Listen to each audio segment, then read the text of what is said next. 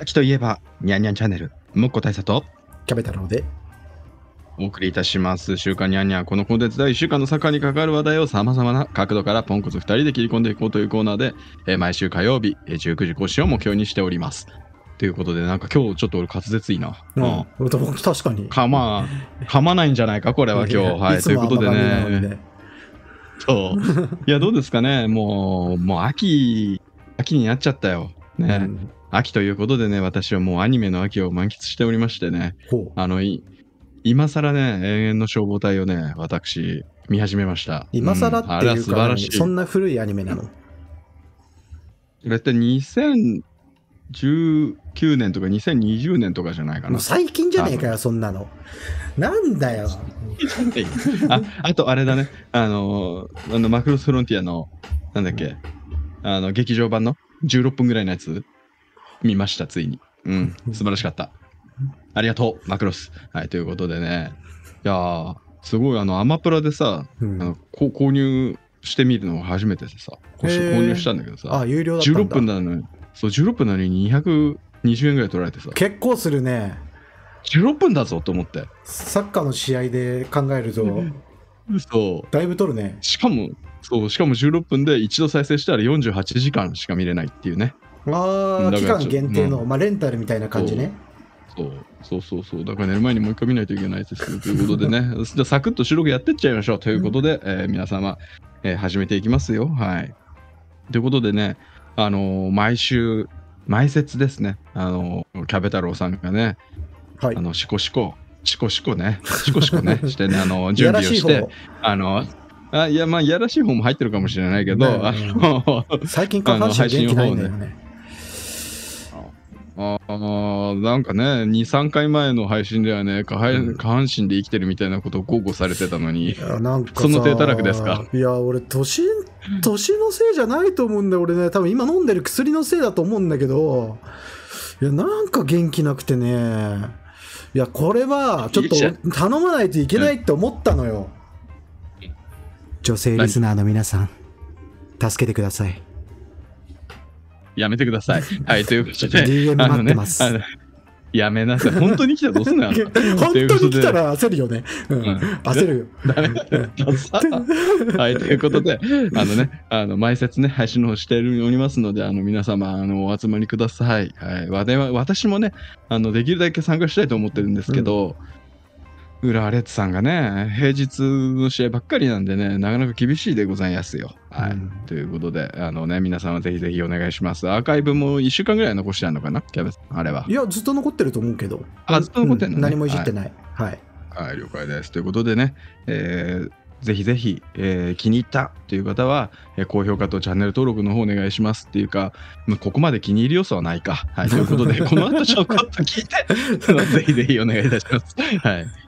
はい、ということでね、えーまず次週のお便りの、えー募集からかけさせていただきます。まあ、こちらのコンテンツではね、皆様のコメントを取り上げさせていただく、えースタミナコメントというコーナーを、えー設定しております。はいえーですので、あの毎週お題をささ出させていただいてますので、えー皆様のことをお願いいたします。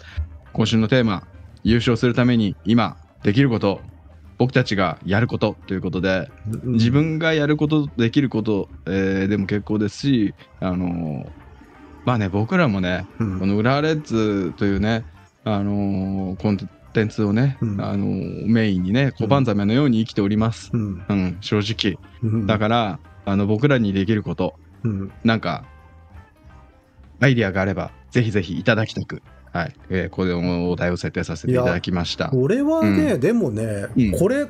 俺 YouTube これやるこことこそが俺にできることじゃないかなって思ってやってるところはあるほうよ、ほうほうほう。うん。だってさみんな暴れ暴れちゃうんだから、浦和レッズサポーター。みんな暴れないで。ち ょそう、だちょから、っとぐらいいいよいい要素をね優しい要素をほら出さないといけないなって思って、まあ、ね。怖くないよみんなの、うん、まあ、その、まあ、ね、率先してみることはないと思うんだけどね、あの、主に、あの、こう、なんつうの、盲目的に、その、まあまあまあ、僕らにね、悪いところってたくさんあるとは思うんですけど、目的にね、批判されることも結構あって、あの、ヤフーのコメント欄とかひどいもんですよ。浦和レッズに対して、そう。う、ん。なんかもう天皇杯出場権剥奪じゃ足りない甘いみたいな。うんうんうん。もうね、J3 からみたいな。なそう。っていうのがまああるのはあるんですけど、いや、うん。そんなねいろんな人がいますからあの僕らにもそのヤフーのコメント欄にもいろんな人いますしうんだからあの、ね、僕らもねこういったあのーまあね悪い印象を与えないようにね気をつけて気をつけてっていうか、まあ、自然体でいきましょうね、キャベツさん、はいはい。わかりました。下半身の話ばかりしないように。本当だよね。いやだから今さ、そんなあなたそんなこと言っててもう数分前に下半身とか言ってたんだけど、まあまあいやいやいや、健全じゃないですか、健全じゃないですか。これ自然体な、そうだ、せ自然体で誰しもが応援できるのが裏レッズでもありますからね。そうですね。うんはい。で、綺麗にまとめようとしていただいてありがとうございます。はい。ということで、はい、今週のコンテンツですね。はいえっ、と、まずは横浜 FC 戦の振り返り。えー続いてですね、スタミナコメントは VAR のチャレンジ制どう？っていうのと、コラボグッズ戦希望は？っていうので募集かけさせていただきます。えーで、その後ですね、最高傑作、小野伸二えー選手の引退。えーあと J リーグ30年プラン、えーなお解約不可、えーあとはクリアソン新宿 J3 ライセンス交付と、えーその応援スタイルに関してということではい。進めていきたいと思います。はいはい。まずはね、はい横浜 FC 戦の振り返り、でございます。はい。ということで、はい。えー直近のリーグ戦では1人で少ない状況でもガンバ大阪に勝利し優勝戦線に食らいついている3位浦和、えー今節29節はホームにて、えー絶賛残留争い中の、えー17位の横浜 FC と対戦しました、えーとですね、伝統的に下位チームに弱い。いや優しい、えー浦和レッズ、えー両チーム負けられない一戦でした。はい、で横浜 FC は序盤から統率された守備陣形と素早い攻守切り替えによるカウンターを武器にやや優位に、えー試合を進めます。えーがっつりバイタルをね、えー封鎖してくる横浜 FC に対して、えー中盤で打開することができず外外に誘導され、えー有効な手立てを見つけることができない浦和は、えー前半15分若干の守備の乱れが生じまあお見合いかなまあね、はい。えーワントップのフォワード、えー横浜市ですね、マルセル・ヒアンがペナルティーアーク付近からえー左足でミドルシュートをゴラッソを打ち、横浜 FC が先制。えーその後ですね、前半37分ですね、えー我が浦和のストライカー、えーフォワード、ブライアン・リンセンが負傷交代し、えーフォワード、コロキがピッチに、えー入るというところで緊急出場がありました。うん。はい、で後半頭から、えーミッドフィルダー関根、えーディフェンダー大畑、えーフォワード高橋を投入して打開を図る、えーで後半29分ですね。浦和はペナルティエリア内で興梠が相手ディフェンダーに引っ張られて倒されて PK を獲得、うん。まあ、ここに関してはいろんなご意見があるかと思いはいます。はいはい。でディフェンスのショルツが、まあ、それをその、ね、PK を、えー左上に突き刺し同点に追いつくと。うん。で終盤はオープンな展開になりラストチャンスが安井選手に訪れるも、えー磁石が入っていたのかと思うような、えーと 絶妙に絶妙にポストをもうかすめて、ね、外れ、えーゲームセット、えー首位のヴィッセル神戸が勝利し勝ち点差は首位と8に開き優勝が遠のく、えー痛い痛い、えードロー決着となりましたと。いはい。ったところでございます。はい。でねまずね一つ目をうん。臨戦。怪我、うん。はいシンプルにね、はい。うん。まあ、ついにね覚醒して、まあ、終盤に向けてね懸念のフォワード陣に余裕がね出てきたと思った矢先臨戦試合中に痛めて前半で交代になってしまいました。この後、うん。我々はどうすればいいのでしょう。まあ観点が戻ってくるからまあ大丈夫だ気もしないでもないけどうん。過密日程もあるしちょっと厳しいね、うん。うんなんか嫌だねこのさ、うん最初のトピックが怪我から入っちゃうって。そうなんだけどね。うん。うん、まあでも軽そうではあったよね自分で歩いて出てたし、まあなんかコメントでなんか違和感を感じたから早めにみたいなうんことを確か言ってたから、まあに、うん多分筋肉系のなんか怪我なのかなって思うけどまあ長引かないことを祈るのみですかね、臨戦については。ね。だからね、ちょっとね、でもこの試合ね、その後、まあ、あの、興梠選手がね、あの緊急出場したわけですけど、うん。まあ、あの、まあ、臨戦負傷、鑑定不在ということでね、あの、白羽の矢が立った興梠選手ですが、まあ、PK ダッシュでね、チームの助けにはなりました。うん。で、あの試合全体で見ると、ポストのプレーの、ね、質っていうのは、まだまだ一般レベルと比べると、まあ、たやや高いレベルにあるとは思う、まあ、技術は衰えてないと思うんですね。うん。ただこの試合ではシュート1本に終わって、うん。えー、とまだまだ期待したいところですが、ちょっとこの試合は厳しい出来でしたねといったところで、はい。い、やー、厳しい台所事情、えー、臨戦、怪我、コールキ選手、まだできることが果たしてあったのかっていう話なんだよね。だから、そのプレーエリアもね、ややあのコールキ選手に関しては、えー、と下がる、なんだね、ミドルサードまで落ちてくるようなプレーがまあまあ多かったから、うん。なんかまあチームとしてうまくいってなかった。で、そうね、中盤も、そう、まあもう、もう、もう、一気いっちゃおう。はい。ということで、3つ目の要因がね、うん。えじゃあ、あの、中盤の打開力ですね。はい。で、これも小泉選手、頼みますよ。うん。できるんだから。はい。ということで、まあ、この試合ではね、中盤中央でのプレー、えーフォワードの下のエリアですね、を使えなくて、まあ、リズムが生まれなかった。まあ、外、外、だから中つないで外とか、あの変化をつけるプレーがあまりなくて、まあ、あのーまあ、よくね、こう、なんていうんだ、こう、後ろを経由してね、うん逆サイドにこう、U の字にずっと動いてたんですけど、うん。まあ正直ね、そこがこの試合ものできなかった要因の一つにあると思います。中盤の選手たち、競争ですよ。頑張ってください。はい。ちょっとあまりにも精度が低すぎます。はい。前方パスの成功率、試行回数、これも少ない。えー組織だった相手の守備が良かったっていうのは確かにあります。で、まあね、岩尾選手なんかはちょっとローグンボールを対応してた感じもあって、中盤を、まあ、最終的にはね、飛ばすプレーが結構多かったんですけど、うんやっぱあそこのバイタルの手前のエリアでね、受けれる選手がいると、もっともっといいリズムが生まれるでしょうから、あのここはね、なんとか、もうは先発はね、早川選手、安井選手、小泉選手でしたけど、うん。うん、ちょっと厳しいね。うん。優勝、優勝を目指す上で、この2列目の奮起、うん。まあ、だから実力以上のものを出さないと、うん。正直、優勝は目指せない。うん。と思った。うん。そう。だから、頼みます。っていうことで、なんかもう煮え切らない。またとにかく、不、不詳、不調、うん。うん、不不調みたいな感じ？不調、不調、不調。不調が2回出てきたけど。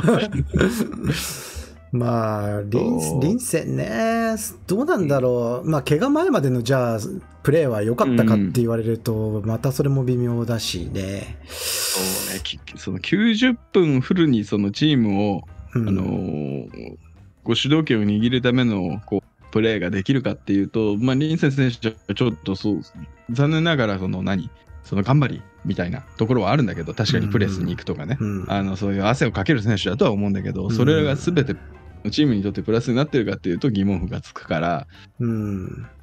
うん、どうかなとは思うけど、まあ、さ最近はねそのシュート精度も改善されてってうん。なんていうか期待を抱くばかりだったんだけどねなんかやっぱか非常にチームとしてこういう選手を取ってくるのはさ、やっぱり前線からの守備っていうのは、もう最低必須条件なのかね。うん。そうね。うんうんなんか、やっぱりフォワードにゴールにしを取ることに集中してほしいっていうような考えもあるじゃない。うん。うん。ただ、なんかやっぱりカンテにしろ、リンセンにしろ、ね、だから、だからそこら辺があれなんだろうね。そのユユンカー選手があれな感じでレンタルになったのもそうそういうなんつうんだろうな。プレーの思考っていうの監督の、うん。うん。そういうところがああったのかもしれないから。うんまあ、こうコオロキにしても高橋にしてもさ、みみんなやっぱりそうそう汗かける、よく走る。よく走る、そういうところじゃない。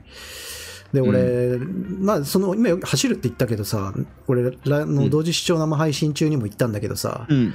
うんまあ、レッツが走り負けてる試合って、俺、今シーズン覚えてない、覚えがないのね。うんうん。だから、なんか、そこって結構、まあ、過小評価されている部分ではあるのかなって思って、うんまあなんか、もっと褒められるべきなのかなって少し思う部分ではあるんだけど、まあ走ってもね、ちょっとやっぱりゴール数に直結しないのは痛いよね。そうだよね。そこがやっぱり、なんかこの中盤、結局中盤の2列目の選手の出来うん次第になっうんてくるのかな。そうね。だから結局、その2列目の選手で、昨今ね、うん。その、局なんかこうゴゴールへの意識が高い、まあ、その中で言うと、まあ、関根選手になってくるんだとは思うんだけど、うんうん、なるほどうんね。うんまあ、精度はね、あるよ。でも、ひ頻度っていう意味では、んそのチームを大いに助けてるし、うん。だから俺はもうこの終盤、うん。この選手、2列目の選手、うんぬんっていう意味で言うと、うん。まあ、正直、期待してるのは関根選手。うん。で、この試合もやっぱりアタッキングサードのプレー比率が極めて高い、あ、そう。70%オーバー。うんで、前回もそうだった。それはやっぱりもうボールもらう前のポジショニングが高いのかね？そうだね、多う分。うんん、なんか引いて引きすぎないっていうか、まあ、我慢する前で。うん。うん。うん、なるほどね。まあ、ちょっとさ、俺、あ、後半から入ったさ、大型のプレーもん。結構気になる部分ではあって、すごくなんか、なん、なんていうかな、こう、無難なプレーをすごいしてて、ん。まあ、な何が言いたいかっていうと、まあ、バックパスを、あの、ホイブラーテンに出すシーンがかなり多かったなって思うんだけど、うん。ちょっとやっぱり関根がこう、助けに落ちてこないから、あんまり縦につけられないっていうところがあったのかな。うんでもそれはチームとしてはそんなにネガティブではないのかな。そうかもね。てか、あれやね、なんか最近その左サイド、うん。その、うん中盤の選手との、えー左サイドバックの選手のうん、なんか連携ってあんまり良くないよね。パス交換なりなんなり。なんかうまく左サイド打開できてる印象とかなくて。うん。うん。まあ、ね。なんていうの。おオギはまあまあ、その、ペナルティーランナーに入ってはいけるんだけど、うん。その後が続かなかったりっていうのもあるんだけど、大畑選手に関しては本当になんかこう孤立してる感じ？で高い位置取れないよね。小泉選手が左にいると、うん、そう、んより、より、より大渋滞、なんつうか、なんかうただ、ただ浮いちゃうだけみたいな感じのことが多くて、うだから結構ひ、裏の左サイドは、だから秋元、なんだろうな。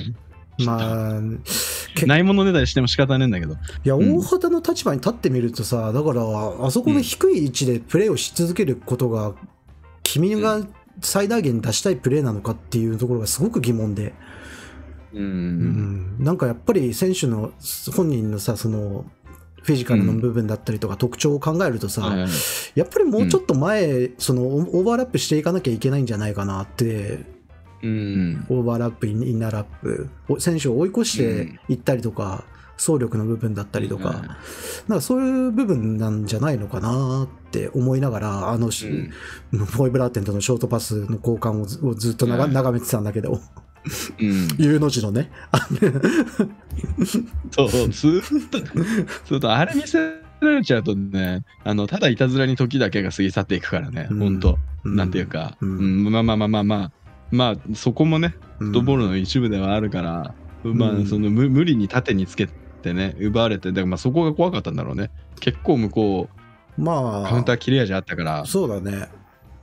うん、まあ、外国人選手を中心に。そうそうう。ん。だからううまくやられたよね。だから、うまくやられたよねっつうか、そう、横浜市さ、多分最下位になったんだと思うんだけど、うんそうだね。いや、この試合で言うと、この試合で言うと、横浜 FC は勝ち筋あったと思うんだよね。うん、うん、うん、うん。だから、なんていうか、もうちょっと積極的に来てほしかったなと思った。そうすればうちの勝ち筋もあったからっていうのもあるけど。そうだよね、そうだよね。なんかうん実際、うん。同点で OK みたいな雰囲気になったよね、うん。その選手交代の時に、なん。かうんちょっとこう選手が指示を、交代した選手、入った選手が、周りの選手にこううん。指示を出してるシーンがちらっと DAZN で映って、なんかその様子を見ると、ちょっともう落ち着けみたいな、無理するなみたいな、うんそういう感じのジェスチャーに見えたから、なんか引き分けで OK っていう感じなんだろうけど、いや、結構きさ、残留争いするチームでさ、それやると、げ やばいっていうのって、もうこれまで歴史が示してるじゃん。うん。結局勝ち点3狙狙っていかないと残れない。うん。う。うんん。うん。いや、だから、まあ、自分たちのは、なんだろうな、プレースタイルが大崩れしないという自信があるのかもしれないんだけど、うん。なんていうかね、いや、もうちょっと積極的に来てほしかったけど、積極的に来たらうちやられてるかもしれない。まあね、まあスペースもできたかもしれないけど、まあ2失点目もあり得たかもね。そう、ちょっとね、そう、本当、本当ここ最近あれだね、大畑選手は不調気味だよね。なんかこの試合もなんかカウンターの起点になるプレー、まあ、うんパスのミスかな。はいはいはい。もあったし、まあ、ちょっと不調っていちょっと気になった。うのかななんなんていうのかな？まあ、レベルに達していないというか、厳しい言い方をすると。コミュニケーションは取ってるようだけどね、なんかテレビで見てる感じ、うん。テレビっていうか、ダーツンで見てる感じ、うん。なんかすごい中盤の選手に要求してるんだけど、うん。うん、なんかうまいこと言ってないよね。うん、まあ、左サイド、まあ、右サイドやっぱりクロス上がるところまでは行くかなっていうところを見ると、うん。左サイドの方がちょっと、まあ、不安な部分はあるよね。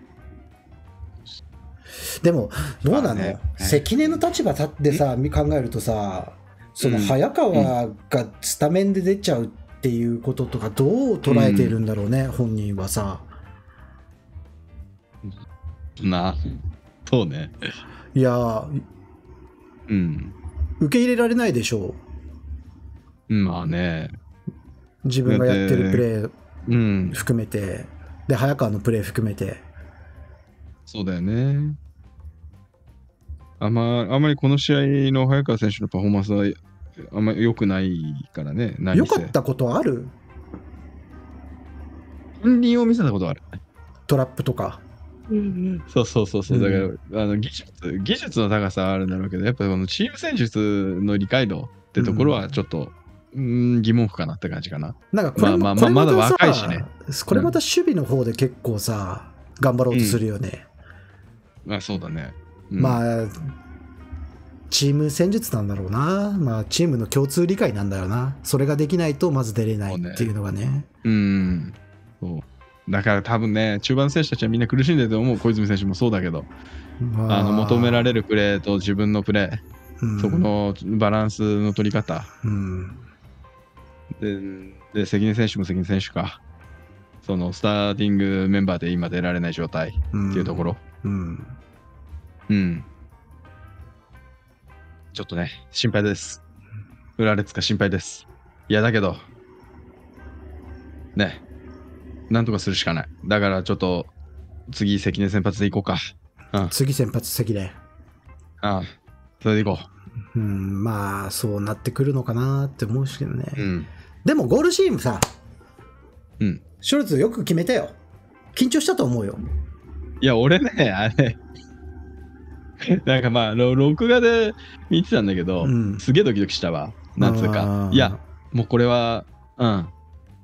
ちょっと、怖えと思った。今まで安心して見てたけど、うんなななんかよくわかんないけど怖さがあった。なんか助走の短さとかね、なんかタイミングがゴールキーパーと合うんじゃねえかっていう、なんかうん怖怖さがあって、だけどコースがまあ良かったね。うん、あれは止められない。そうで、PK に関しては言わないの？ぜ ?PK の是非は。いや、あれ、あれね、あのー、PK 取ってもらえないことについては、すごくしつこく言うけど、みたいな。そうだよね、そうだよね。そう、フェアじゃないよね。そう。わかるわかる。そうだよ。うん、フェアじゃないと思う。だから、あの、言っておこう、うんここは。うん。ちょっと PK ではないんじゃないかな。いや、俺は思ったけど、いや、確かに引っ張られた。引っ張られてたけど、コロキ選手も引っ張ってた。ね、お互いに引っ張ってでそれから。すると、そう、イイーブンなんだよな。だから、なんていうか、うん。ちょあ、っとであのも、そそ、そこは正直気な気の毒かなと思った。でもき、そう考えると、やっぱり転んだもの勝ちなんだね。よせよせえよせ。でも、でもそうじゃない。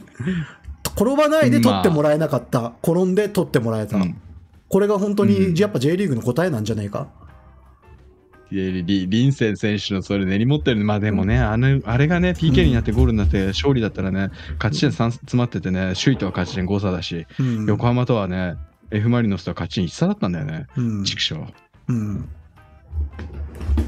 まあまあまあ。だから、コールキはそこから学んでるかもしれちょっとなんない。か気の毒。うん 転まああ転ばない、まあ転ばないとダメだっていうことをね、しっかりと頭に入れて、うん。転べば取ってもらえる。J リーグさん。そうなの？それ。え？いや、どうなの？コオロギのまあでも経験がねでも正直 守備の仕方もあんま良くなかったと思うけどね。でもあのパス入れたの関根だよね。関根から確かコールキに入れたよね。うん。なんていうか、まあ、引っ張る必要性はなかったよね。うん。まあ、ほぼほぼ引っ張ってるって感じでもないけどね。なんまあね、まあね。っていうか、引っ張られてるから、ああいうシーンはやっぱディフェンス心理で引っ張り返したくなっちゃう。あはいはいうんはい。引っ張りそうですか、キャベツさんは？いや、やっぱりあれだけ腕こうさ、張られてさ、握られる、はい握られるじゃん。うんそうすると、もうやられたい放題になっちゃうから、やっぱりちょっと手とかはかかってくるよね。あいやり返しちゃうよね。まあねうん。そう。だけどね、ちょっと、あのーまあ、うちはラッキーでした。正直。正直ラッキーだったと思う。そうだねあれは。うんうん。よし、これでいいか、キャベツさん。フェアかフェアになるかな正直、正直ラッキーでした。本当はノー、P PK じゃないってとは言わないのね。いや、まあ、だからそこは、あのーね、は判断が分かれるところだと思いますけど、わた私は、あのどちらかというと、あの、イーブンなプレーだったかと思います。イーブンねっていう感じイーブン。うん、うん。そう。そう。なるほどな。まあ、10人いれば、うん PK 取るのは2ぐらいじゃない？それイーブンじゃないじゃん。イーブンって5対5になるのがイーブンでしょ？いや、あごめんなさい。もうちょっとバカでちょっとごめんなさい、私。算数できないのかな、はいいや、ちょっとね、ちょっと怪しいかもしれないです。はい、ということでね、うんあの、まあ、この試合は残念だったけど、うんまあ、なんとか引き分けた。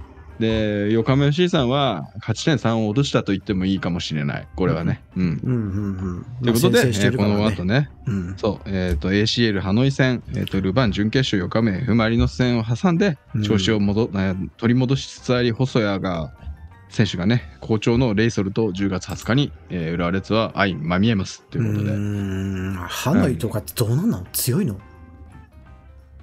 よくわかんねえんだろ。うん。え本当に？同じ土俵で戦ったことがないからこそ難しさはあると思う。だから、うんなんつうか。うん。まあでもここ鑑定だよね、フォワードはね。そうだね。うん、センターバックの疲労ってさ、見えた？この試合。え横浜 FC。やってか正直ホイブラーテンやっちゃったなって感じだよね、あの失点シーンは。まあね。まあその前のポストプレーが。そもそも、うん。伊藤敦樹選手は相手選手より後ろにいたわけだから、うん。あのまあ、あそこを伊藤敦樹選手に任せるということはバックチャージになっちゃうからね。あ一番最後のね。だからシューそうシュシュートコースは、うんホイブラーテンは切るべきだった。うんうんまあ、その前のさと思いますよその前のボールも相手ののポストプレーに入ってるところ、ホイブラーテンがチェックに行って、でポストプレーで裏取られてんだよね、ひ引き出されてうん。でそのせいでショルツが左のセンターバックの位置をカバーしててでホイブラーテンが右に入ってるっていう風にずれちゃっててるんだけどまあなんうんかその前一一番最初のさなんか相手の緩いセンタリングをさ、なんかクリア、なんか変なクリアしたじゃん。あはいはいはい。ひ左足で、コロコロコロコロコロって、うんいやなんかあの辺から怪しかったね、この試合はね。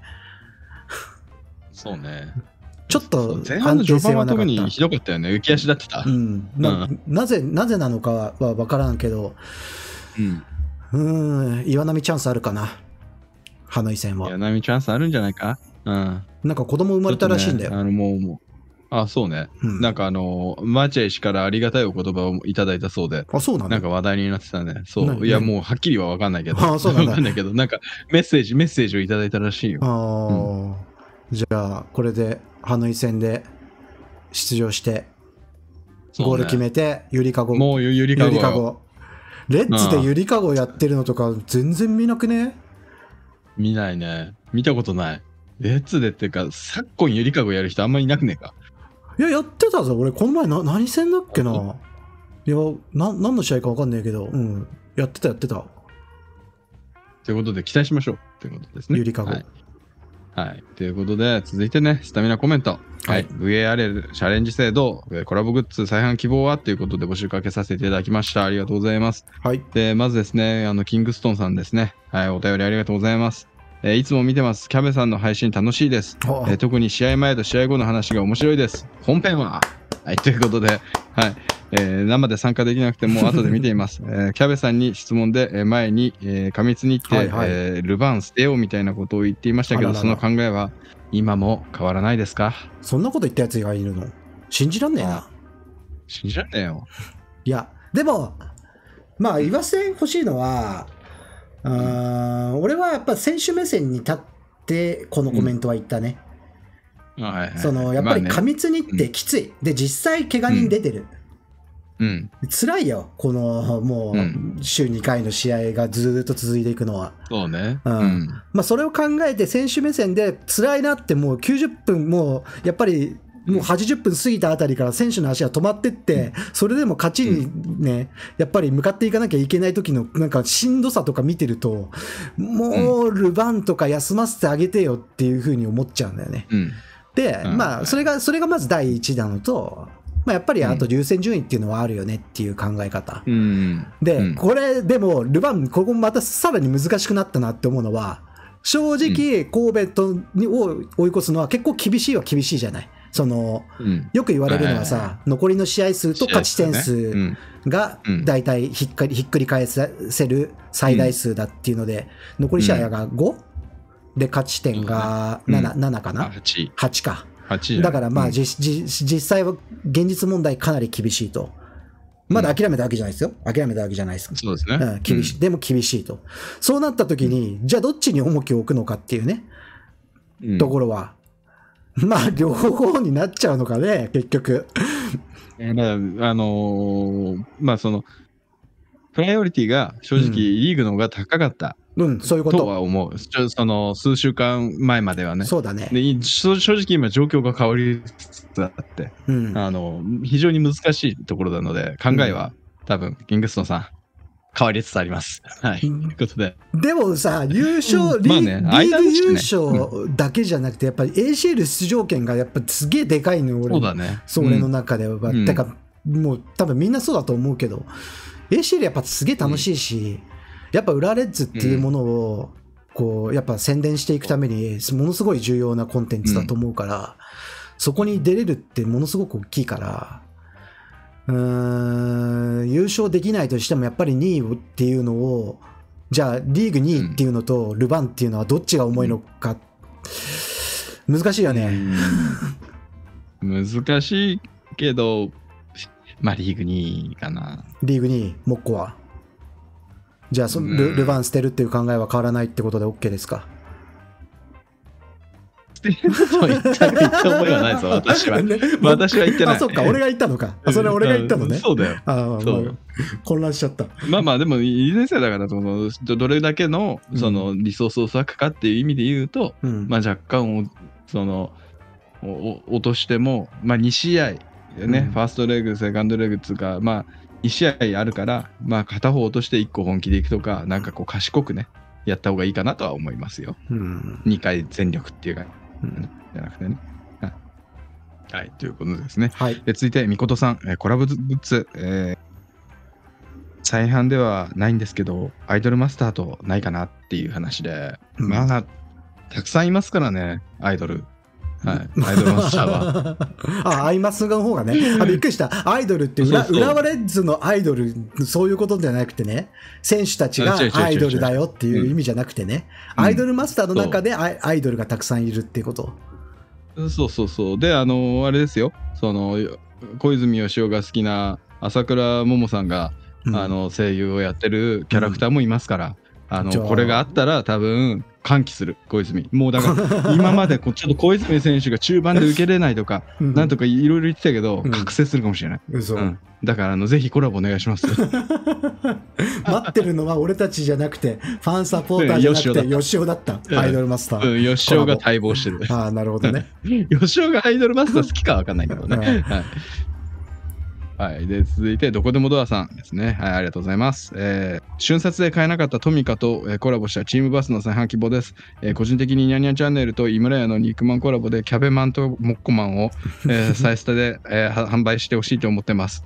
えーどっち買った？俺はモッコマンっていうことで、俺選ばれちゃった。なんで、うなんで俺じゃないの？まあ、キャベマンも漏れなく、あれですけど、ね、段ボール入ってますけどね。昔のあの中国の、あったね。なんかあったよね。確かに。段ボールやるやつ。でね、うん。チームバスは多分これでね、俺何？持ってんの？持ってる。えー、買ったの？盗んだの？うんち 何言ってんだ？違う。なんかね、たまたまね、レッドボルテージのサイトを見ててね、なんか変えた1個。へえ。でも、あ開け開けてねえんだよね。未開封、メルカリ。せないね。出さないよ俺俺 なんかメルカリに出すっていう文化が俺にはないんだよね。ななんかなんかわかる。うん、申し訳ないけど、メルカリ使ってる人って結構、底辺かなって。じゃあなんかね、俺ヤヤフヤフオクとかもそうだけど、なんかいや難しいよね俺には俺にはむずい。ううんん、わかる。なんかそん、そんな時間かけるのも大変だしね、ラッピングとかさ、そうそうそうクレームあったら怖いし。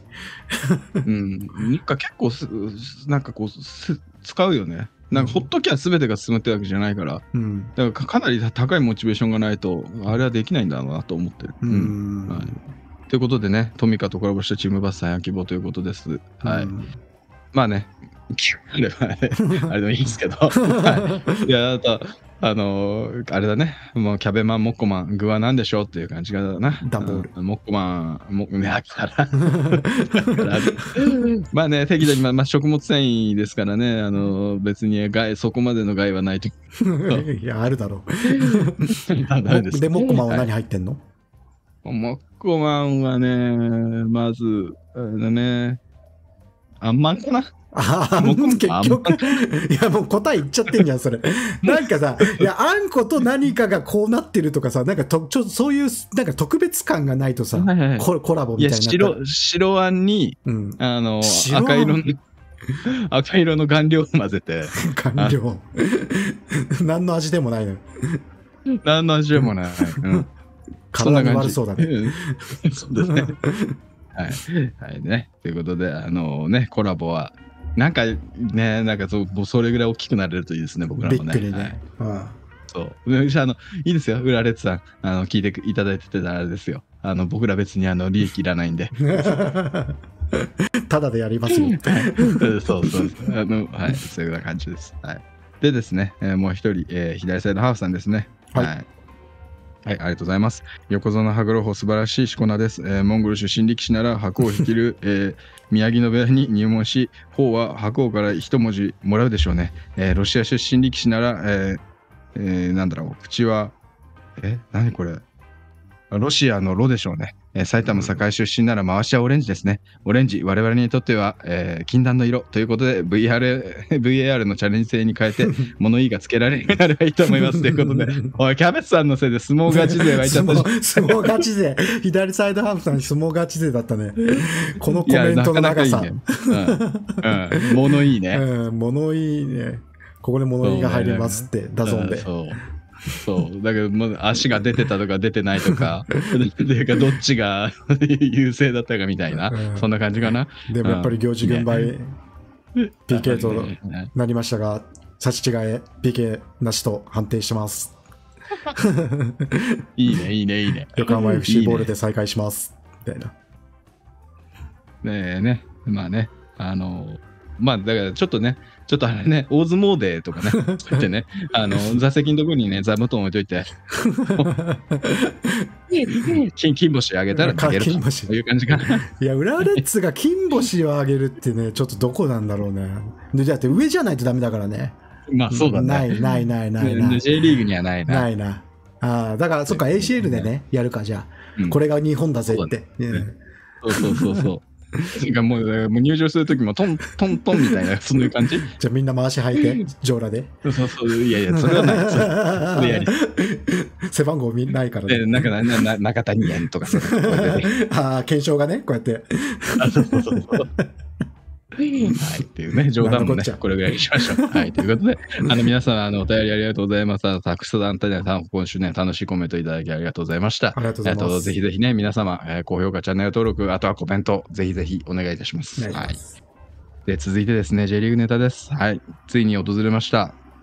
はい。え日本の、日本のサッカー最高傑作、小野伸二選手引退ということで、まあね、北海道コンサドーレ札幌に所属する元日本代表、えー小野伸二選手が今季限りの現役引退を発表しましたということで、あのね、ここはあのフットボールゾーンさんのね、10月1日のね、記事が出てたんですけど、小泉選手がね、あの琉球時代にチームメイトだったということで、うんあのその思いをね、語っています。はい。でね、あの、小泉選手、えー、心臓、あ、心臓さんじゃねえや、新次さんが、えーいなかったら、えー今の浦和にいる僕は間違いなくいないといったところで、だいぶ浸水されているようで、あのね、まあね、詳しくは語ってないんですけど、まあ、うん浦和レッズに加入した時はね背番号18で、今は8番ということでね、小野伸二選手のね、あの足跡もね、もうすごくあの辿っていて、うんでね、なんていうか、プレイヤーとして本当に見ている人を引きつける、えー、新さんを見てサッカーを好きになるとか始める人はすごく多いと思う。そういう選手になりたいのはあるし、ずっと目指している。えー一番は人としてとにかくすごくいろいろなことに気を使って、ワーク力ポジティブにする声掛けもたくさんしてもらった。えー琉球の時に個人的にも本当に作ったサッカーをしていてもしていなくても周りの人を幸せにできるところところを見になりたい、えーそういう人間になりたい気持ちが強いというね、小泉選手、思いを語っているんですけど、小泉選手、小泉選手になりたい選手は多分いますよ。っていうか、あの僕の親戚に吉尾を目指して両足練習してますよ。おお、うん本当にうん。でもう、もうなんか結構うまいっぽい。何、うんも見てないけど。もっこのお父さんとか？あのあいや親戚親戚って言ったからいやいや、うちの親父はあのき右足とか左足じゃねえよ。利き足は頭だよ。うちの親父はな。うん一番一番かっこいいじゃん、うん憧れるわ いや、まあまあまあまあ、ということで、そう、だから別にね、あのそんなになんかこう、雲の上の存在みたいな風に思わないでほしい。よよ吉尾に関しては。うん。吉尾を見てサッカー始めてる選手はたくさんきっといますし、そうそうそう、もう近づいてますよっていう話ね。うん。うん。ということでね、あのこれね、騎士のオチがね、すごくって、うん。あの、まあ、裏はね、最終戦で、あ最終節で札幌と対戦するんですけど、うん小野選手の引退セレモニーの実施なども予想されるんですが、うんうんえーあの小泉選手、一緒にプレーしていた人はすごく影響を受けているだろうし、いろいろなところで救われた人がとても多いと思う。自分がどこまで行っていいのかと、小泉や 元チームメイトながら悩む姿を見せ、自分でユニフォームを買って持って行ってサインをしてもらうのがいいかな、計画しておきます。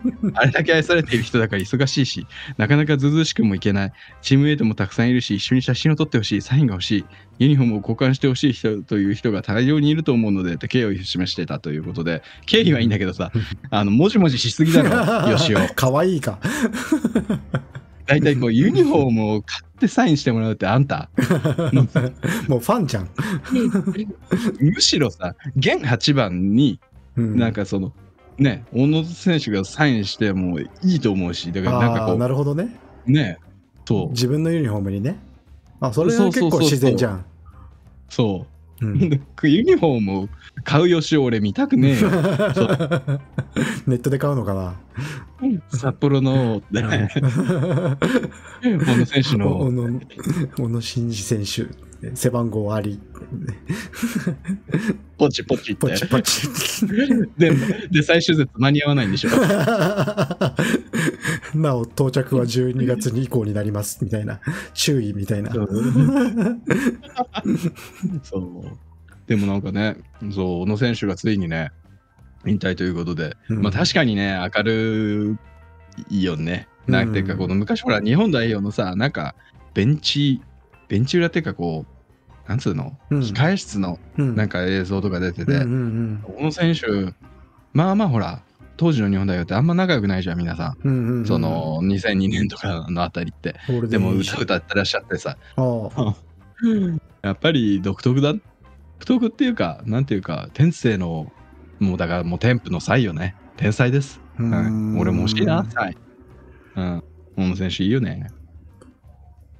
いやなんかいや俺西川とも西川選手もすごい好きでさ、いやだからそうやってなんかニコニコすごくしてプレースできる人ってすげえなと思って。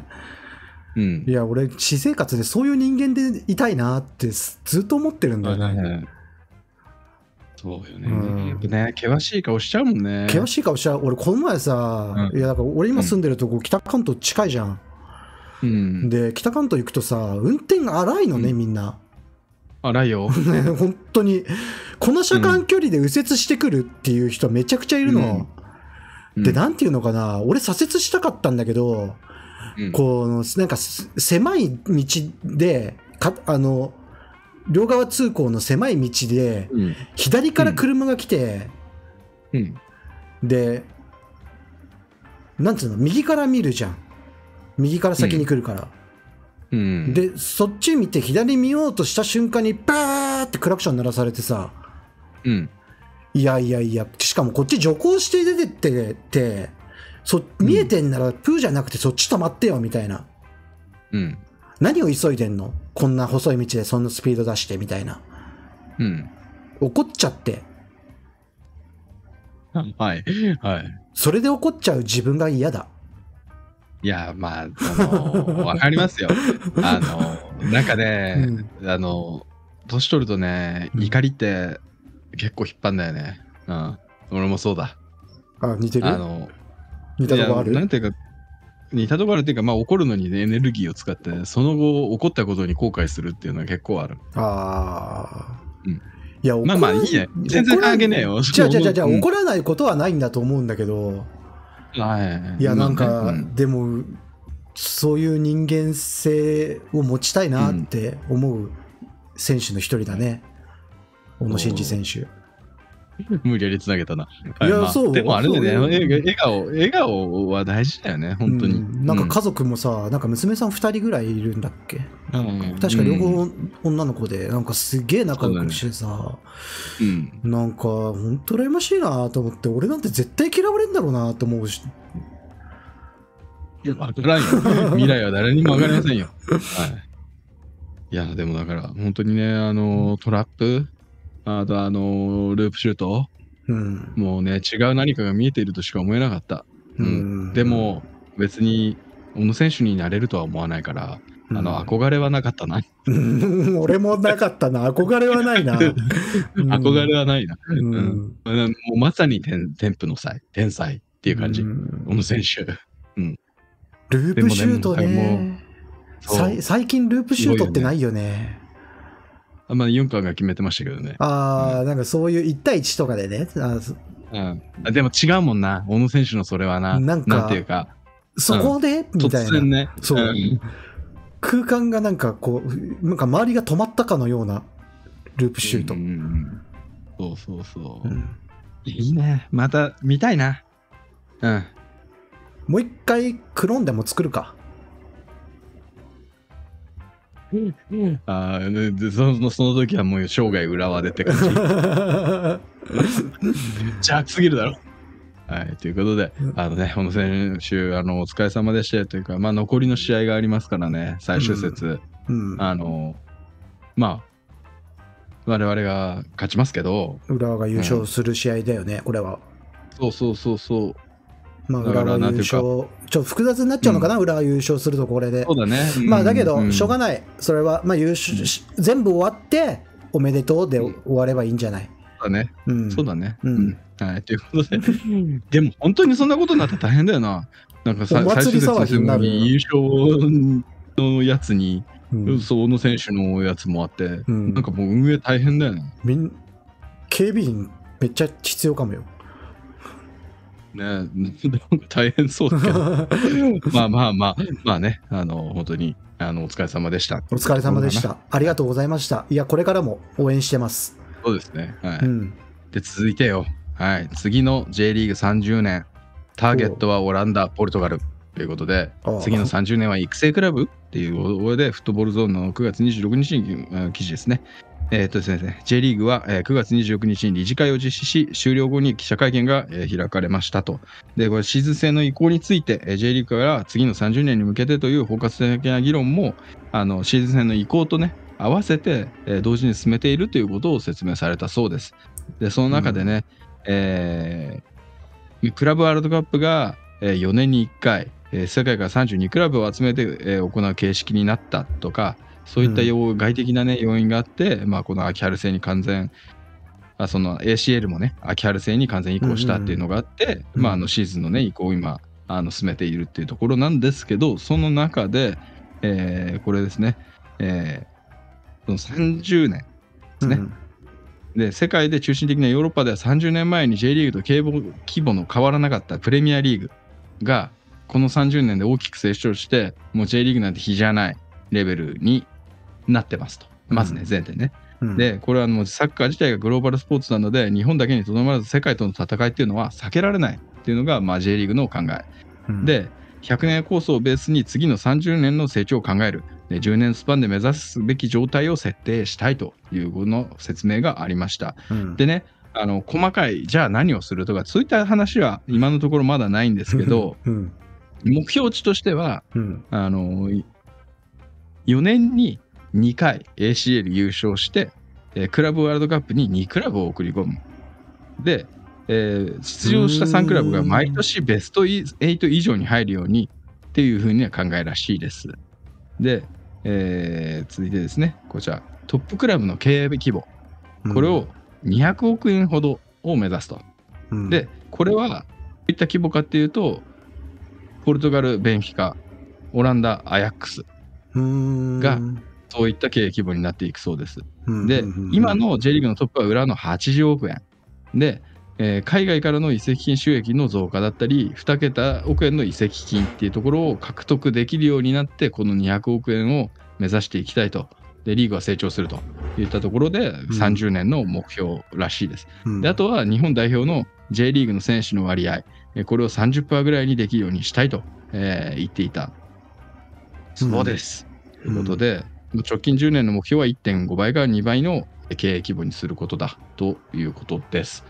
でね、まあ、これ自体あの目標があることはすごくいいことだし、うんなんていうか、その現実に見えてんだなと思った。なんていうか、うん最近さ、なんかこう、結構夢みたいなものがさ、うん多いじゃん。まあ、100年構想とかもまあそうなんだとは思うんだけど、でもなんか現実は見えてて、なんかポルトガル、オランダ、うんいや、いい線いってんじゃないですか。だから、うんキャベツさんが目指すべきと言っている方向性に行きそうですよ、今んとこ。ただまあ30年もかかるのかっていうのはあるけどね。うんあるか。まあ、かかるな。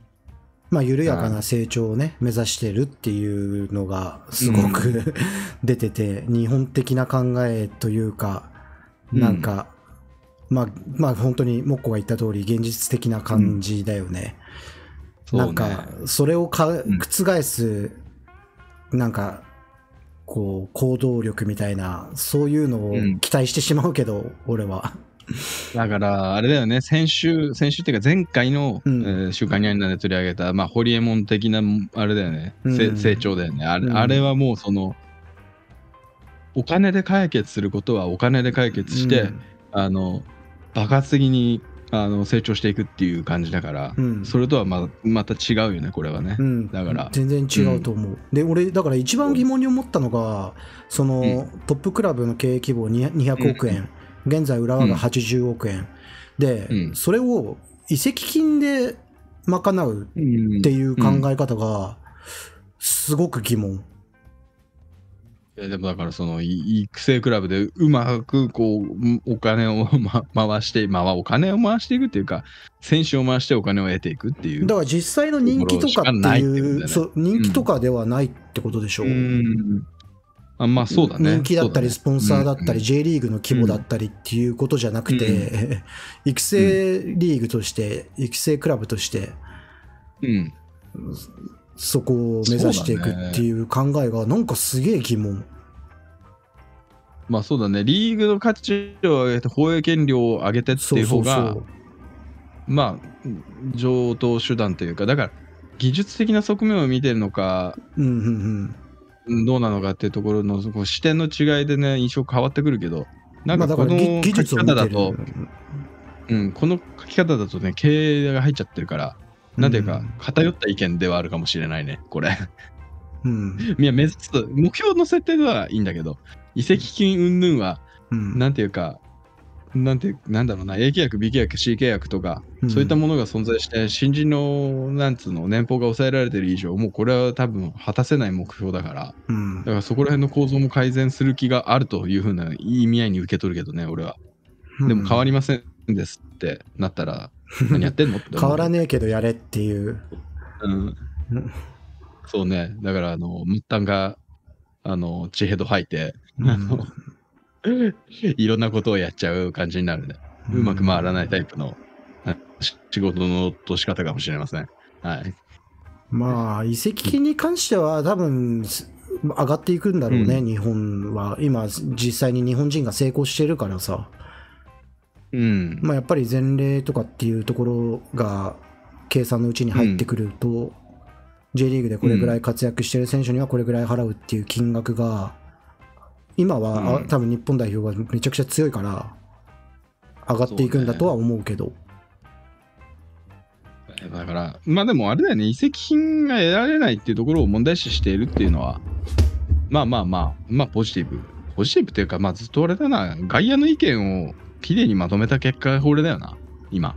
多分サッカーだからさこれを議論してるのがさどういう人なのってもうさ おじサッカーやってたおじいちゃんたちがさこういうの話してんでしょっていう感じがちょっと辛いよねそうね。だからあのーあれどうなったんだろうね、ホリエモンのやつって。あれ2年契約だった気がするんだけど、確か。あれはななでも今もう理事とかじゃないんだよねなんだっけ？理事とかじゃない。あの、なんつうの、アドバイザアドバイザー？な？なんだか。うん、外部アドバイザーみたいな。うん。いやでも本当に経営のプロは入れないと無理じゃねえかそうね。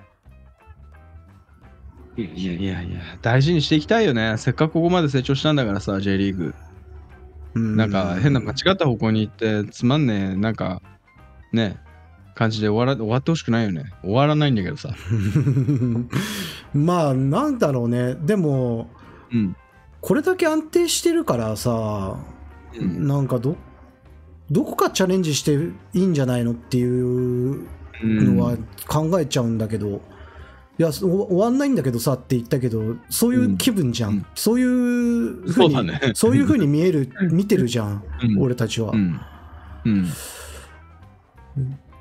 うん。なんでまだ消極的になんか行かなきゃいけないのかなって吉尾じゃないけど。お前は素晴らしいのにさ J リーグは素晴らしいのにさ、うん。なんでこんな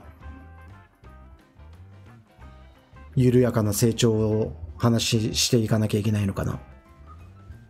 うーん、だからあれだよね、そのプロスポーツ、エンターテインメント、あとはお金っていうところで、結構そのエンターテインメントとお金っていう部分に関しては、サポーター心理的には、なんていうか、あんまりこう、直直視してないとこだよね。なんかお金の話とかしてさ、うんだから選手がそもそもお金で動くことが悪みたいな感じもあるから、なんていうか、まあ、うん J リーグを取り巻くサポーター環境というか、こう見る側の方がこう萎縮させちゃってる部分はあるのかもしれないなと思う、正直。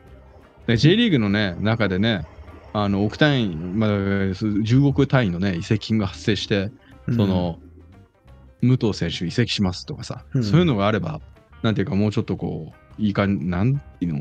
いうん、でも最近そ、最近っていうかさ、大概が海外挟んで日本に戻ってくるパターンじゃん。うん日本の中で大型移籍って成立しないから、うんなんていうかこう、お金が回らないよね、本当に。うん。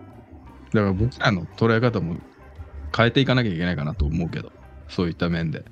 そのエンターテインメントもそうですよ、エンターテインメント。日本から海外だけじゃなくて、日本国内同士の移籍っていう金額自体が上がっていけば、うん。日本海外も上がっていく可能性があるっていうことか。そうそう、そうそうそう思った。なるほどね。うん。うん。ということかな。だからまあ30年、あの、そこ今から30年。大丈夫か？俺生きてるか？ねえ怪しいよ。いや、生きてるとは思うんだけど、まあまあまあの確率で生きてるとは思うんだけど、じゃない可能性もあるからね。腎臓透析とかやってそうだな、俺。おま、おい、ちょっと待てよ。試合見ながら俺がじじいになる頃のにようやくポルトガル、オランダか？ちょっと目標値低いわ、やっぱ。変えて変えて。俺たちが生きてる間に世界一になってくれ。ねえ、ちょっとこれ足りないです。ごめんなさい。あの、出し直してください、J リーグさん。はい、30間違ってます、ちょ、30っていうのをちょっとね、舐めてたね。俺たち、自分らのあ舐めてた舐自分たちの年齢をちょっとね、見誤ってたね。うんそうだね。はい、ということでね、続いてですね、はい。えー続いては、えーサポーターのスタイルですね。応援スタイルは多様というふうに書き換えせていただきましたが、えっと、こちらはですね、クリアソン新宿が、えー J3 のライセンスを交付されたというところで、激坂の9月26日の記事ですね。ちょっと書き方がね、あんまり好きじゃないんですけど、うんえー J リーグでは暴徒化したサポーターによる問題が深刻化している。深刻化。なんだ？深刻化したんじゃなくて、なんていうか、なんかちょっと違うよね。なんかこれじゃあなんか J リーグが悪いみてえじゃん。まあまあ、なんか確かに。うん抽象的すぎて、なんか全員損してる書き方だよね。そうだよね。ううんん。そう。これに関してはね、浦和レッズのサポーターです。はい。で、この夏は、えー天皇天皇杯で8月2日に行われた、えー名古屋戦ですね。浦和レッズ対名古屋戦でサポーターによる暴力行為が、ね、来年度のえー天皇杯の出場権のね、えー資格が剥奪される大きな事件となりましたという前置きから始まります、これ。うんなるほどね。で、そんな中で、そんな中じゃないのよ、そもそも。だからこれは独立してるんだよね。うんで8月24日に、えークリアスの新宿がリリースしたクラブ主導の応援が議論を、えー読んだといったところです。うんで、古参サポーターの排除になるのではないかといった声も、まあ、聞かれましたが、クリアソンは、えー初めてサッカーに触れた人でも安心安全に平等に楽しめることなどを理由にクラブや、えークラブと連携した団体が中心となって応援を含めたスタジアム作りへの理解を、えー求めていたということで、今までのね、うん。J リーグのあのクラブっていうのは地域密着で、えーそれぞれのサポーターあクラブのサポーターがね、うん。あの色を出して今があるわけなんですけどででまあねこのねクリアソン新宿さんの応援の勧めっていうのがねこれは出てるんですけど、うん。もうナイスまるグッド。で勇気を持って前に進むプレーを盛り上げるべし。みたいな。うん。で、続いてね、次次、切り替え。素早く切り替えて前に進むプレーを盛り上げるべし。うん。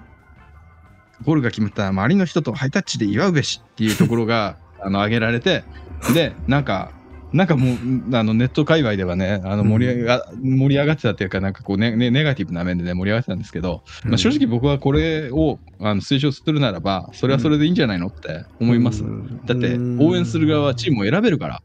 うんだけどね、ちょっと、ちょっと気になるのが、なんか、うまあ、まあ、あの、も問題と一回切り離します。はいはいはい。レッツが問題を起こしたこととは切り離しますけど、うんなんかことあるごとに、その、J リーグのサポーターとはこうあるべきみたいな。うんで、あの、J リーグファミリーとして恥ずかしくないのかみたいな。なんかこうんうんう、サポーターってものをさ、あの、なんていうかこう、一定のさ、なんてこう、スタンダード、スタンダード、J リーグのスタンダードなサポーターっていうかこう、をさ、うん編み出す、生み出そうとしている感じがさ、うんなんかちょっと感じ取っちゃってんの、俺が勝手に。そそれと私の感想なんですけど、J リーグのね、メッセージを聞くたびに思ううんなんていうか。で、それがなんか、あのひもう、もう決定的なものになったものは、なんかこう、野々村さんがね、あの作品を作り上げていくとか言ったことを言ったのよ。うんで、俺、作品の一部になった覚えねえわと思って。うん別に作品作ろうと思ってスタジアム行ってねえし。スタジアムにね行くときにねそううんそうそうそう。いや、作品を作ってくれよと思って、うん野々村さん。でサポリーターを、作れとうん、たサポーターをコントロールしようっていうのは、そもそもあまり好きではない。うんサポーターはサポーターとして独立して存在するべきだと思うから、なんていうか。で、今までね、あの、作り上げたサポーターの色はそのまま残して、ここに新しく、この応援の進めをあの携えたクリアスの新宿さんが登場するっていうので別にいいと思うんだけど、なんかだから、あんまなんかこう、確率的ななんかこう、サポーターとはみたいなのを作らないでほしいなと、俺、J リーグに。ちょっとうんいやその問題は問題でね、あ存在すると思うんだけど、なんていうか、100%その数々の問題がね、サポーターのその思想だったりってものにこう紐づいてるかっていうと、俺そうじゃないと思ってるから、うん。なんていうか、うん、人人の問題もあるでしょって話、要するに。うん。だから、なんていうか、こう全てを悪としないでほしいなって思う。うん。でさ、うん。でさ、なんかあの、まあまあさ、あの清水さんとかさ、あの、あのまあまあさ、あのサポーター、名古屋さんとかもそうだしさ、うん。なんていうかこう、ネット会話でいがみ合ってますよ、正直。でも別に、それはそれで、そうそう、それはそれでいいと思うんだよね、別に。あの、うん。で、別にその、やるよ、どう過ぎた発言は慎むべきだとは思うけど、うん。あの、別に嫌いだとかさ、なんかそういうのは別にいいと思うんだけど、うん。なんか何？そこも仲良くしなきゃいけないの？なんか変じゃね？なんか J リーグが変な方向に進みつつあるような気がしてちょっとお恐ろしいんだけど俺、うんなんかこうみんな仲良くみたいうんななんかいやでもね、うん。俺も同じだね。やっぱり、ちょっとね、本当に最近 J リーグが怖い。うん。なんか、そういう怖さを感じるの、J リーグ、JFA が怖い。うん。なんか今までなかったんだけど、そういうかんことはね。うんなんかでも、うん本当に最近怖いんだよね。ね、なんか、なんかさ、その、そう、最最近さ、ほら、そう、そう相互監視とかもなんかが煽ってくる感じがして嫌でさ、うん。なんかあの、鹿島さんかな、うんあのあ、ある特定のね、方が、あの、ゴルあー裏はいはいはいで暴れた件があったんですけど、はい。その記事も俺すっげえ違和感あって、うん何か声がしたからカメラを向けないといけないと思ったみたいなのが書いてあったのよ。うんうんうんいやいや、何言ってんのと思って。いや、何問題起こったらカメラを向けるのが何？今の世の中のスタンダードなのなんかさあ、うん。問題が起こったら晒し上げるってな、なんなんだそれと思って。なんか今すげえなんかこう、ちくり合戦みたいな状態になっててさ、うん。ななんか本当に言いづらいよね。本当に。J, J リーグ。J リーグに関わら関わらないのかな？今、最近そんなもん？まあそんな感じ？そそんな感じじゃない？でもそうそいやそんな感じだから俺はそこはあんまり疑問には思わないかな、その晒し上げるみたいなこととかっていうのに関しては、ただなんかやっぱ,、じやっぱり基準がないことをうん。そのはい最低に入れるからうん。JFA、J リーグはうん。浦和レッズに対してそれがすごい怖いのよ俺がルール、俺がルールブックだってことだろ。そうすすっげえ怖いじゃない、でもこの怖さをなんかみんな感じてるのかなって思ってそれって J 浦和レッズサポーター全員もそうだけどそれだけじゃないじゃない、まあね。他サポーターもこの今 J リーグ JFA がやってることにをにやっぱり怖さを感じないのが普通なのかなってなんかうん。疑問なんだよね。そうね。だから、あれだよね。この、果たしてじゃあ、は完全に浦というチームがね、排除されましたってなっても、きっと同じなんだと思うんだよね。うーん別のチームが、なんか次は、次は C 東京さんかもしれないし、わかんないよ。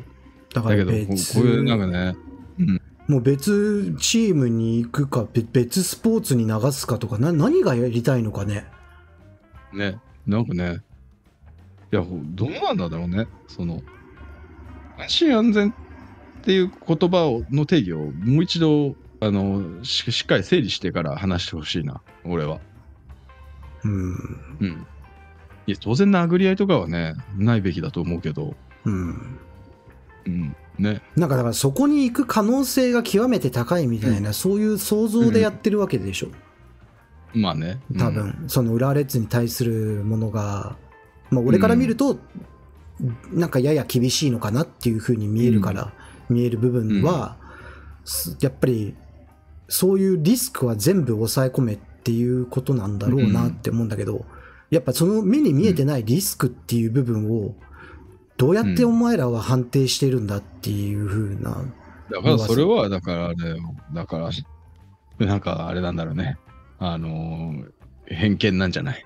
偏見。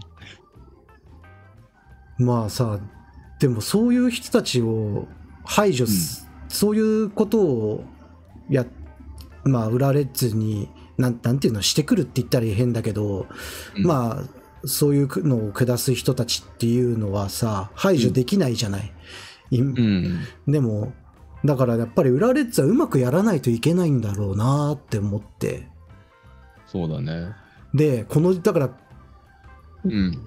クリアソン新宿がやってるのってすっげえうん J リーグをやりたいことにうん。向かっていってるんだろうなって思うのよ。全チームがこれは辛いね。いやこれだよ でも J リーグが目指してんのはこれなんだよ。もうブーイングできないからね。うん。できない、できない、まあ、うんできないじゃないかもしれないけど、できないまであるよ。もまあね。う、うん。ちょっとね、なんか、いや、うん、最近ちょっと怖いなって思ったってだけですね。だってだけですっていうか、まあ、だからみんなもうちょっとね、あのもうちょっとなんか冷静になって、あの、今起こってることと、なんかこう J リーグが導こうとしているものっていうことを、なんかもう一回冷静になって想像してほしいんだよね。うん。別に批判性とかさ、そういうのを要動してるわけじゃなくて、うんなんか、うん、なんかイメージできない、イメージできないというか、イメージしたらなんか、うん、なんかこう、なんか気持ち悪さを感じちゃってるっていうのがあるから。うん。だったら J リーグがどうされって話？怖いうね。ん、怖いよ。でも新宿ってかっこいいよな。まあね、だから、うんでもスタジアムをね、どうするかはありますけどね。どこに作るの？いや、地下だよ、地下。地下ネ闘技場だよ。ルミネの地下。うん、地下闘技場。東京のど真ん中に地下闘技夜のような場。行われるね。うんみんなだからもうもう鬼の背中みたいな感じになってるみんなムキムキになって。うん芝か。芝かと思ったら 人間の髪の毛だったみたいな。え、しょうもない。まあまあ、でもだから、あの、ですよね、あの、その東京のね、クラブっていうところが、まあ、だまあ東京のクラブはあるんですけど、の23区内のクラブができるっていうのは、あの、まあ、いいことだとは思うんで、あの、ぜひぜひ、ただ、あんまりね、その、そういったところをね、もろ出しにしないでね、あの、無理やり作らないようにしてほしいけど、そう考えるとさ、そうだよね。23区内のチーム、それこそダイバーシティじゃないっていう感じはするよね。それこそいろんな人がいてほしいなって思うけどね。そうね、違うんだねね。ナイス。はい。クレアさんナイでス。えーとはい。はい。し新宿最高っていうことでね。はい。えーと、以上で、えーこの放送は終わりにいたしますが、最後言い残したことありますか？大丈夫ですか？なんか、なんか、うん。子供の保育園で、うん。あのーハーフの子がいて、そのお父さんが、俺がうレッツの西川のシャツ着てお迎え行ったら、うん。レッツ、レッツじゃんって言ってきて、うん。うんうん。おうレッツかって言って、好きなんだって言われて、うん。嬉しかったです。それってあなたの感想ですよね。あ、そうです。そりゃそうだ。うんいや、よかったですよ。いや大丈夫まあ、なんかもう、私生活でもね、あの、率先してね、浦和レッズを発信しているキャベツさんに拍手でございます。うん仲間が、そう、仲間がいるんだと思って、こんな田舎にも。僕はあのネックピースずっと裏レッツでやってますけど、うんこう10年以上ねうん。あのいじられたのはあのアルディージャのサポーターの方だけですよ。海外まで発信してください。はい、そうですね。はいうんということで以上であの香港のコンテンツは終わります。高評価とチャンネル登録もぜひぜひお願いいたします。お願いはい、ということであのまたまた頑張りましょうということでねあの最後に言います。実はこれ70回の記念会でした。おめでとう。バイバイバイバイ。最後に言うのか。忘れてた忘れてた。